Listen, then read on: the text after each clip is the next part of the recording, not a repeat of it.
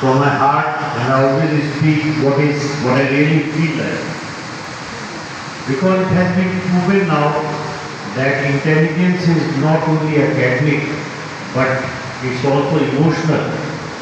कल हमने एक और इमोशनल की टाइप इमोशनली टाइप देखी जो बताया गया कि पेपर पढ़ा गया बहरहाल मतलब ये है कि next year will be celebrating our silver jubilee 2023 will be the silver jubilee year of the Mohammed Medical College. And it's no surprise that most of these years symposium has been held. Because why we hold symposium? We hold symposium for the students' well And because of our situations, जिसको कि doctor करना ने बड़ी अच्छी इसके बारे में बातें की कि वसाइल और ट्रेनिंग और लिमिटेशंस और different pattern of diseases and different exercises different belief systems उन सबको जब इकट्ठे किया जाए तो किस किस्म की मुश्किल सामने आती हैं? मैंने कल अपने कंक्लूडिंग उसमें कहा था, जो लास्ट पेपर के बाद आपसे बात की थी, उसमें मैंने बात की थी, जो लोग नहीं थे उनके लिए मैं दोबारा कह रहा हूँ कि प्रिंसिपल्स और उसूल ग्लोबल होते हैं, लेकिन उनकी एप्लीकेशन लोकल होती है।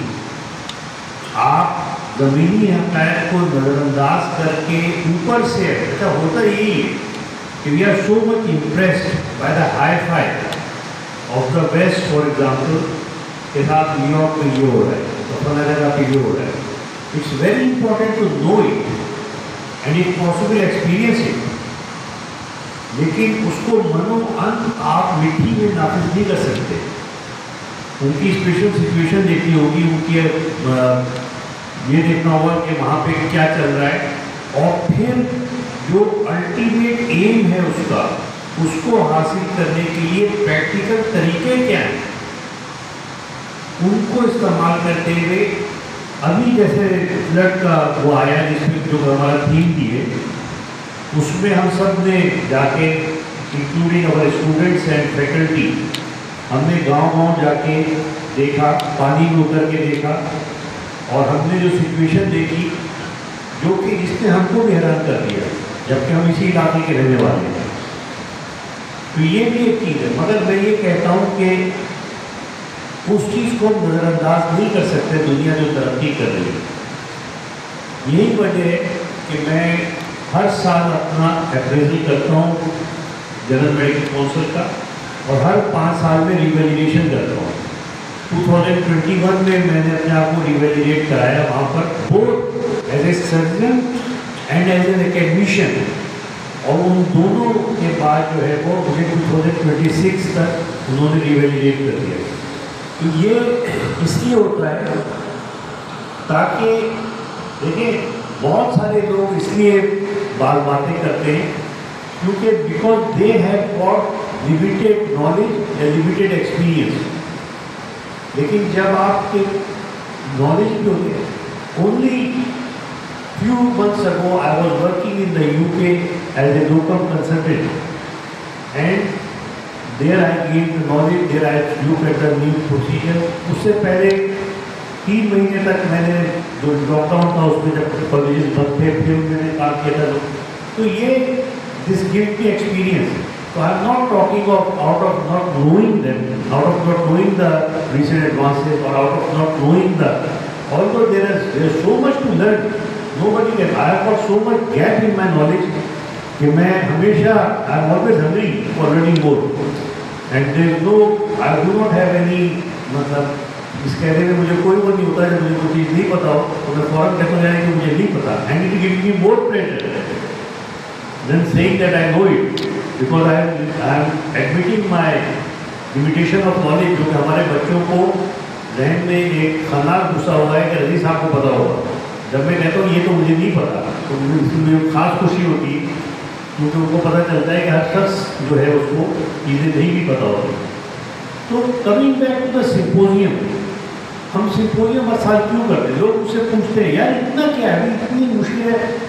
यहाँ पर जब लॉकडाउन था जैसे ही लॉकडाउन खत्म हुआ हमने सिम्पोजियम कराया और लॉकडाउन के दौरान ऑनलाइन स्टूडेंट से रिसर्च करवाई।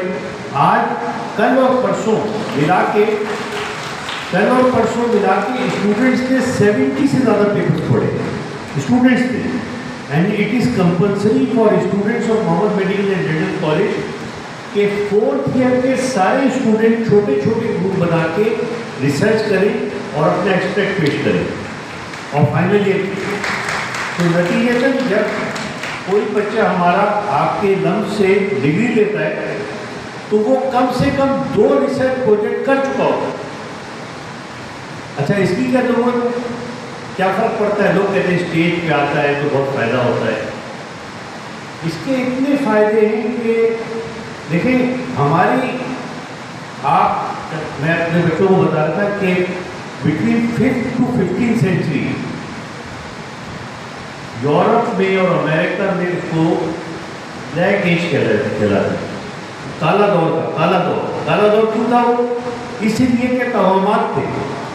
अगर किसी लड़की पे कोई कहने देता कि जादूगरनी है तो उसको आग में फेंका जाता अगर वो जल के मर गई तो उसको बड़े अदब व एहतराम से उसकी आखिरी रसूमात की जाती थी कि भाई ये नहीं थी जादूगरनी देखो जल गई।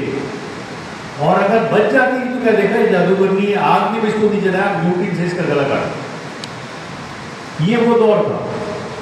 और इन सोलहवीं सदी में आके मेरे नज़र में दुनिया की बहुत बड़ी तहरीक शुरू हुई, जो इंसानियत की मेरे ख्याल है शायद इससे बड़ी तहरीक, कम से कम गैर मजहबी तहरीक मेरे जहन में नहीं, वो थी वो कहलाती इंलाइटनमेंट जब लोगों ने फैसला किया कि अब हम हर चीज़ टेस्ट करेंगे इसमें मशहूर वाक़ है उसका, अपना गलीलियो का, कि वो अपने यूनिवर्सिटी के टावर में खड़ा हो गया और जब वो आए सुबह को तो उसने कहा, ये बताओ, सर, ये सेवनटीन हंड्रेड की बात है।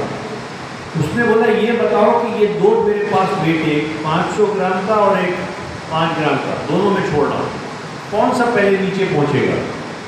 सबने का ज़ाहिर है, पाँच सौ ग्राम का पहले नीचे क्योंकि अरस्तु ने ये लिखा था, तीन सौ साल कदरे मसीह में, अरस्तु ने लिखा था कि दो भारी वज़न छोड़े जाएँ तो जो भार दो एक भारी और एक हल्का तो भारी वाला पहले पहुँचे हल्का वाला बाद में पहुँचे उसने छोड़ा, दोनों इकट्ठे पहुँचे, क्योंकि ग्रेविटी तो हुई नहीं दोनों के। लिए nine point eight metre per second square तो वो दोनों इकट्ठे पहुँचे। उसने कहा, ये क्या हुआ? पहले दोबारा करते हैं, एक और सेट फिर छोड़ा, फिर नीचे इकट्ठे पहुँचे। तो उसने, यानी जो बात आपने ज़िक्र है, सोचने की बात यह है कि इंसानियत को 2000 साल लगे।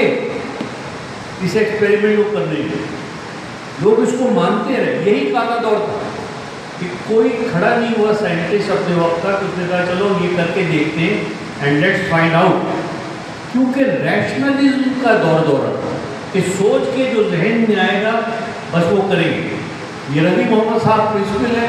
वो सोच के बोलेंगे बस वो माना जाएगा भाई, नदी मोहम्मद साहब क्या होते उनको बहुत सी गलतियाँ करते हैं, बहुत सी ख्याल उनके गलत है। तो चेक करें ना चेक करके देखते हैं। अगर वो निकलता है सही तो मानते हैं, नहीं मिलता है तो नहीं मानते जैसे अभी डॉक्टर साहब ने बड़ा अच्छा एक बात की, मैंने मुझसे पूछा कि छोटा अगर फ़ोन करे या बड़ा करे तो इन्होंने बताया कि नहीं, मेरी स्टडी नहीं है, मगर स्टडी हैं जिन्होंने बताया कि उसमें मॉर्बिडिटी कम होती है। That is the proper way to think अगर नहीं होता तो कहते होता है ऐसे ही लेकिन उन्होंने कहा, है स्टडी है इंटरनेशनल स्टडी है जिन्होंने ये बताया। तो we go after the studies we go after the science ये कोविड की जो फतह है, आज जो हम लोग सब मुँह खोले हुए बैठे हैं यहाँ पर। किसी ने मास्क नहीं पहना हुआ एक दो के अलावा। तो वो कैसे बैठे दो हज़ार बीस में आप सोच सकते जिस तरह बैठेगा नहीं सोच सकते क्या हुआ? वैक्सीनेशन ने कमर तोड़ दी। कोविड की। अब होता भी है तो आप कोई नहीं सुनते, कोई टीवी पे तवज्जो ही नहीं करता कि आज कोई मरा भी कि नहीं मरा तो। और वो वक्त था, जबकि वेस्ट के अंदर एक एक दिन में हज़ार हज़ार डेथ हो रही तो अब आज ये चेंज कैसे हो गई? और जब ये हो रहा था, उस वक्त व्हाट्सएप पे, यूट्यूब पे रोज़ाना आते थे कि ये वैक्सीनेशन मत कराए। और जो कराएगा वो दो साल में मर जाएगा। नोबेल प्राइज होल्डर ने कहा है, दो साल हो गए, हम बैठे ढाई साल हो गए। हम क्यों नहीं मरे? Because if you go against the science doesn't matter who you are how qualified you are what is your position if you go against the empiricism, again, if you go against the research, then this will what you will do. आप सिवाय तवाम फैलाने के कुछ नहीं करेंगे। और हमारी society में तवाम बहुत हैं। रिसर्च जो है, वो सिर्फ़ एक प्रोसेस नहीं है। रिसर्च एक माइंड सेट है। रिसर्च एक ज़िंदगी गुजारने का तरीका है। या तो आप लॉजिक को रिसर्च को माने या ना माने। जब ये होता है, जब चाँद गर्म होता है तो ये होता है, जब सभी साबित कर दो मान ली। रिसर्च करो। प्रॉपर तरीके से रिसर्च करो, देखो क्या रिज़ल्ट आता है। लेकिन ये कि मैंने तो सुना है, मेरा तजर्बा ये है, और मैं तो ये समझता हूँ, ये अब नहीं चलेगा। हमें अब उसको रिसर्च के अंदर लाना पड़ेगा। तो हमारे यहाँ सत्तर पेपर पड़ेंगे सत्तर पेपर पड़ेंगे और हमारा थीम का इस दफ़ा है issues in affected areas of state and their future solution और सेवेंटी पेपर पड़ेंगे इन्वाइटेड लेक्चर भी आपने सुने सोसाइटी ऑफ़ सर्जन की मीटिंग भी देखी थीम एंड इनोवेशन अच्छा प्राइज डिस्ट्रीब्यूटेड शाम में होगा और सिम्पोजियम इवनिंग शाम में होगी इंशाल्लाह जिसमें म्यूजिकल प्रोग्राम भी होंगे और अच्छा लेक्चर और थीम आपने देखे कि हमारे कादिर साहब कादिर सॉरी कादिर नहीं है ये कादिर साहब हमारे जो अपने कादिर कादिर खान साहब उसका है। तो रिप्रेजेंट डॉक्टर अक्रम शेख साहब का हमने सुना, डॉक्टर जीनत कपड़ा डॉक्टर खुशलाम मुकेली ने भी इसमें लिखा।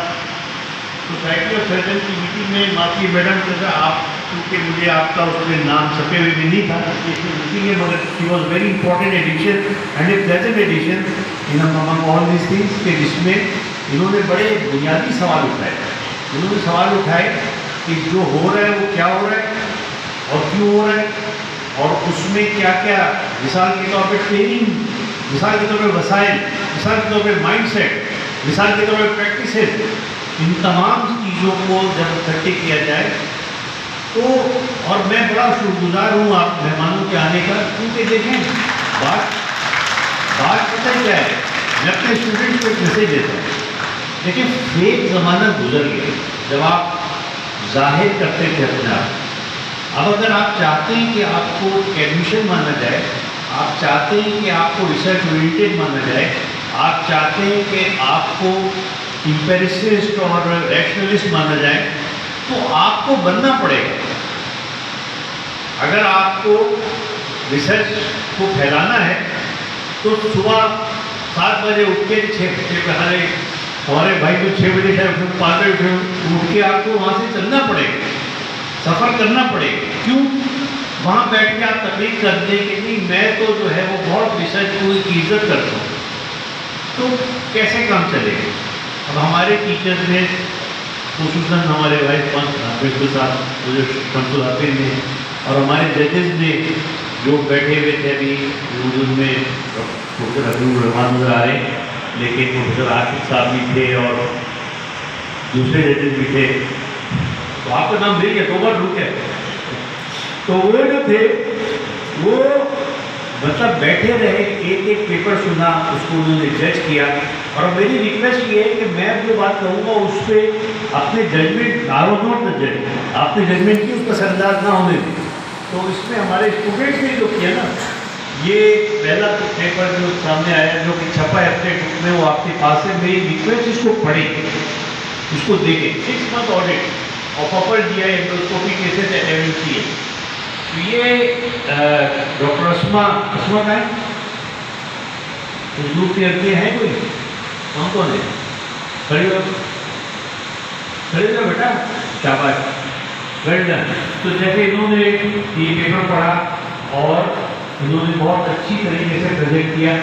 फाइनल ईयर में हमारा कोशिश ये होती है कि हम अपना जितना काम है, उसको ऑडिट करा के और उसको किसी शेप में ले उसका रिकॉर्ड जमा हो जाए। तो हमारे पास 20 सालों का रिकॉर्ड जमा है in the form of estate books कि क्या चीज़ कितनी हुई? हमें पता है कि हमारे पास सबसे कॉमन डिजीजेज पीडियाट्रिक वार्ड में कौन सी आती है?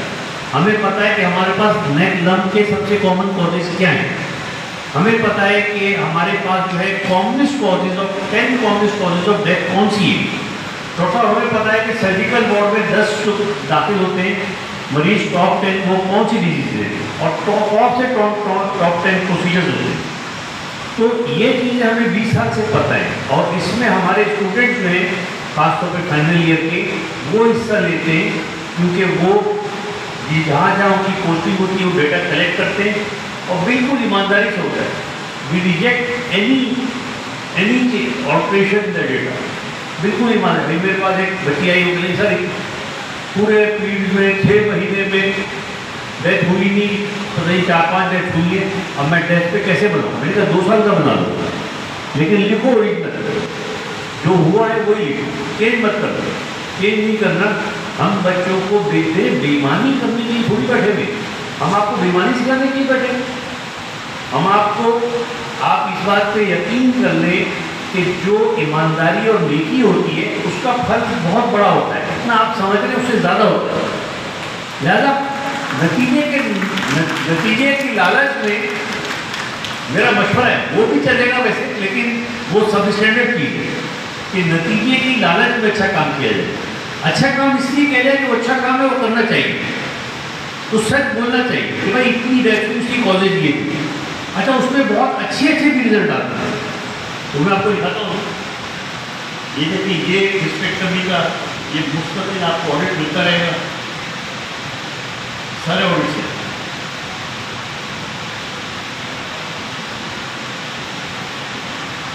अच्छा ये देखिए।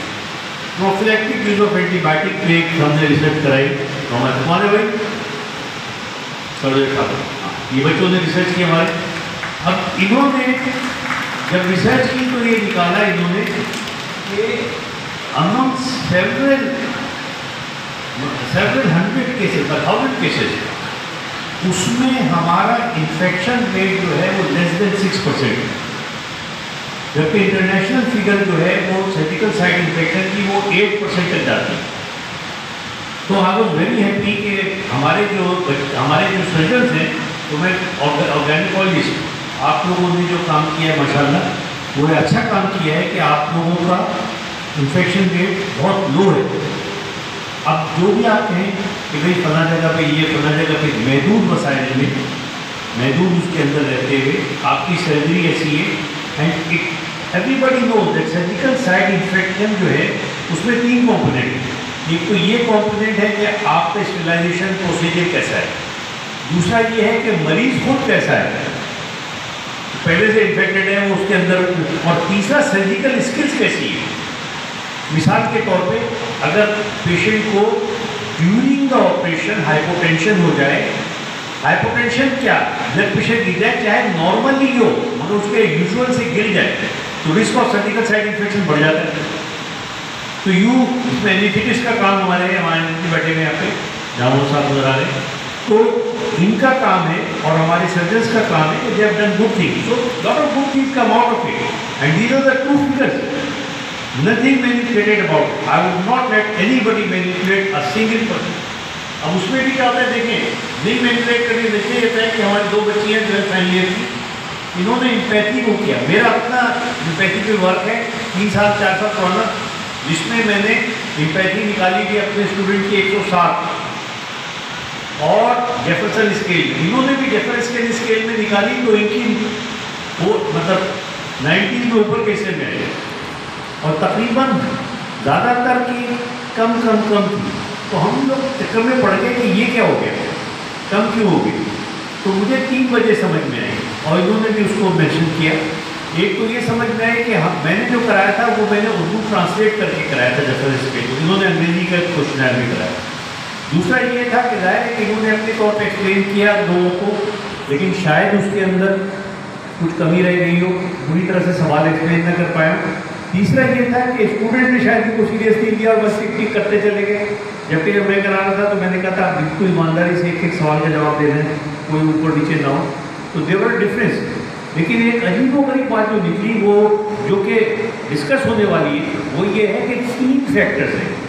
एक तो पेशेंट पर्सपेक्टिव एक कंपेशनेट केयर और एक standing on patient patients foot ये तीन जो है हुजत अटाल ने निकाले थे। इसमें से दो में तो इन्होंने निकाला कि इनके कम थे, मगर तीसरा जो था स्टैंडिंग ऑन पेशेंट फुट जो जो कि फैक्टर नंबर थ्री और सिक्स का है उसमें इनके रिज़ल्ट बेहतर थे Now, why this has happened? We have to explore it further and look at it. तो मतलब कहने का कि एक अच्छी स्टडी जो है, वो सब्सिक्वेंट स्टडीज़ के रास्ते खोल देती है ये फोर्थ ईयर के पेपर हैं कुछ इसमें prevalence and respect associated with diabetes like among women visited OPD at MMCH इसमें जो है, मैं तारीफ़ करूँगा हमारे कम्युनिटी मेडिसिन डिपार्टमेंट की बिलखसूस प्रोफेसर राजद साहब की, कि उन्होंने बड़ी मेहनत की और जैसे मैंने कल परसों हमारी बात हो गई थी। तो हमने कहा, यार मंडे से जो है, वो अगले सिंपोजियम की तैयारी शुरू हो जानी चाहिए। Paper writing is not an overnight process और data collection is not a two day process के भर बैठ के सब डेटा कलेक्ट कर लिया। उसमें देखते रहें और मैं एक बात इनसे बच्चों सबने कहता हूँ, मैं उनको तो पता है, लेकिन बात फैकल्टी वालों को शायद ना पता हो। मैं इनसे कहता हूँ when you done the S P S S analysis तो जो बने ग्राफ और जो डेटा है, उसको देखो। देखते रहो देखते रहो देखते रहो, पढ़ते रहो पढ़ते रहो पढ़ते रहो। फिर एक वक्त आएगा कि ये डेटा तुमसे बातें करने लगेगी। तुम्हें बताएगा कि देखो मेरे अंदर ये चीज़ है। देखो ये चीज़ अनयूजल देखो ये हटी हुई चीज़ है। And that's where the actual research start जैसे शायरी के लिए मैंने अपनी किताब में लिखा कि मुझसे लोग तो पूछते शायरी क्या होती है? तो मैं कहता हूँ कि जब शेर को अच्छी तरह से तशरी कर दी जाए, बयान कर दिया जाए, सारी तफसील बता दी जाए, उसके बाद उस शेर में जो चीज़ रह जाती है, वो शायरी है। इसी तरह से जब आप रिसर्च कर लेते हैं, सब डेटा डाल देते हैं, लिख लेते हैं, उसके बाद जब आप डेटा को देखते हैं और जब डेटा आपसे बात करता है असल रिसर्च वो होती है और वो रिसर्च होती है कि फिर उसके बाद आप सोचे भी ए रिसर्चर फिर आप खाते भी ए रिसर्चर फिर आप पीते भी ए रिसर्चर फिर आपकी जितनी ऐसे बेटा बैठ जाओ, शाबाश, कमरा कम बैक सिट डाउन मैंने आपको बताया कि ड्यूरिंग द सेशन जो है, इसकी इजाज़त नहीं छोड़नी इतनी आप लोगों को समझ नहीं अगर आपके पास डिसिप्लिन इदारा है, उसको मादर इल्मी कहा जाता। है मादर माँ के अलावा आप बताइए, आपकी क्या रिलेशनशिप है किसी से? तो मादर इल्मी जो शख्स अपनी माँ से रिलेशनशिप नहीं रख सकता, वो किसी से नहीं रख सकता। बोले नहीं, मेरी अपनी अम्मी से तो बहुत बुरी रिलेशनशिप है। बाकी लोगों से बड़ी अच्छी है हो ही नहीं सकता जो माँ से रिलेशनशिप ना रख सके, उसके अंदर कोई साइकोलॉजिकल डिफेक्ट है कि वो रिलेशनशिप रखने के काबिल नहीं है। इसी तरह से मैं आपसे कहता हूँ कि आपका मादर इलमी जो है, वो एक चाँद है और आप लोग चांदनी है। तो जिस तरह चाँद के बगैर चांदनी नहीं हो सकती और चांदनी के बगैर चाँद नहीं हो सकता, ये दोनों लाजिम मजलूम है।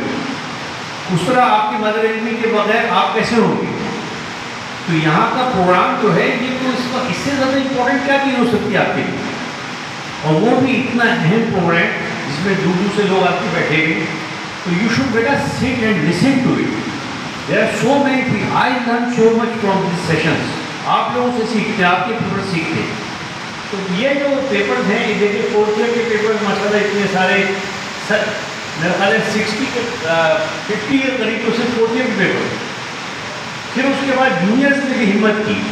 अच्छा फोर्थ ईयर और फाइनल ईयर तो लाजमी है, डंडा खड़ा हुआ है सर पे, उसके बगैर इंसान नहीं देने देंगे फॉर्म दी जाए तो उनको तो करनी है रिसर्च लेकिन first year second year third year के जो बच्चे हैं, उनकी वॉलेंट्री है। और मैं तारीफ़ उसकी करता हूँ, जिसके लिए लाजमी ना हो, फिर भी वो आके अच्छा काम करे। इस पर मैं एक हज़रत अली का कॉल आपसे शेयर करता हूँ, जो मुझे बड़ा पसंद है। उन्होंने कहा कि अल्लाह, कुछ लोग तेरी इबादत इसलिए करते हैं कि वो जन्नत के ताले ये तो ताजिब की इबादत।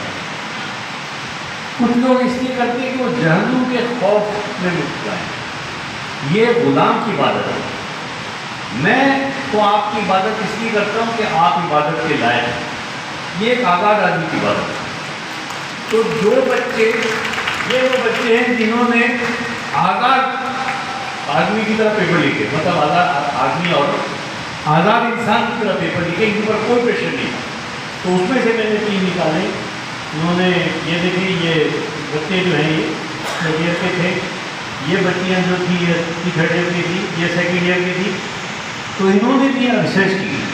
तो मेरा आप लोगों को शाबाश, बहुत शाबाश है। और मेरा बड़ा खून बढ़ गया। इन दो दिन में आपके पेपर सुन के आपके रवैये देखे, क्योंकि अब मुझे, हमने ज़िंदगी में अल्लाह ने सब कुछ दे दिया। अब मुझे सिर्फ़ ये है कि मेरे बच्चे जो हैं वो अच्छा पढ़ें, इनके माइंड सेट अच्छे हों, ये क्लियर हो, और इनके दिल में, दो चीज़ें मैं हमेशा कहता हूँ कि हमेशा कभी गरीबों से अपना नाता मत छोड़ना अल्लाह आपको बहुत पैसे दे अमीर बनाए, लेकिन गरीबों के साथ जुड़े रहते हैं, उनके साथ काम करते हैं। दूसरी तीन कर लेते हैं। दूसरी बात यह है कि कभी जुल्म के साथ मत खड़े होना, हमेशा मजलूम के साथ खड़े होना। और तीसरी बात यह है कि अपने दिल में कभी तासुब को जगह मत दें चाहे वो लिंग्विस्टिक तासुब हो, चाहे वो मजहबी तासुब हो, चाहे वो रंग का हो, चाहे वो नस्ल का हो, कोई भी तासुब हो, अगर आपके दिल में आ गया तो आपकी आज़ादी ख़त्म हो गई। कोई गुलामी दिमाग की गुलामी से बड़ी नहीं होती। और दिमाग की कोई गुदामी तासुब से बड़ी नहीं। ज़्यादा इस चीज़ से हमेशा बच के रहना। I thank you all very much and I thank you my colleague and my students and specially guest who आप लोग आने की वजह से हमारी बैठकों को चार चाँद थैंक यू वेरी मच